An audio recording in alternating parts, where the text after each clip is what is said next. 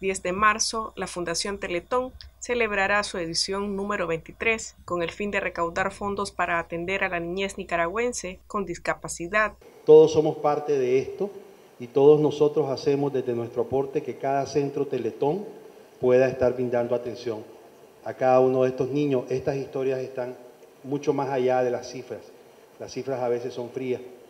Y, decimos nosotros, hace algunos años eh, tuvimos uno de los eslogans de campaña y decía Teletón une. Y, realmente, eh, qué bonito, ¿no? Eh, Teletón es lo que nos congrega a unir propósitos hoy.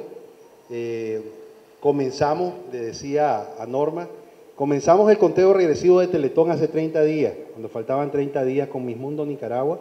Y el conteo regresivo de hoy, con el que vamos a cerrar, falta un día, va a ser con Miss Nicaragua. Eh, eh, tenemos todas las marcas juntas.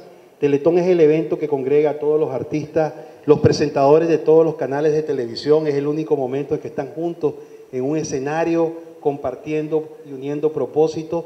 Vemos aquí en este escenario, y lo vamos a ver, generaciones unidas por eh, lograr estos propósitos alrededor de la niñez con discapacidad. La conferencia de prensa del 7 de febrero estaba cumpliendo el doctor Taguada año, hoy está cumpliendo Diana Paola.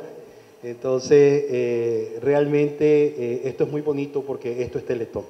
El evento Teletón 2023 contará con la participación de personalidades nicaragüenses. Y este año vamos a tener la participación, voy a mencionar los artistas que tenemos. Como dijimos en la conferencia inicial, estamos priorizando o priorizamos este año la participación de los artistas nacionales.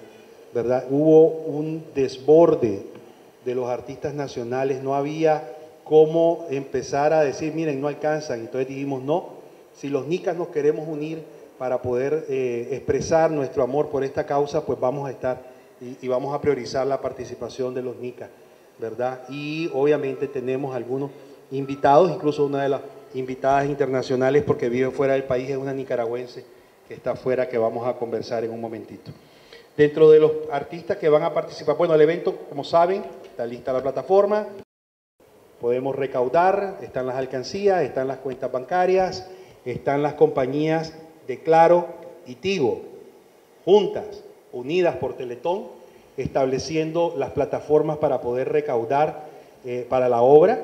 Eh, vamos a tener Teletón Digital, ¿verdad? Del cual Norma es la madrina de Teletón Digital que va a estar desde las 7 y media de la mañana hasta las 2 y media de la noche. Fundación Teletón es una organización nicaragüense que trabaja en pro de la niñez con discapacidad. Para Noticias 12, Gloria Campos.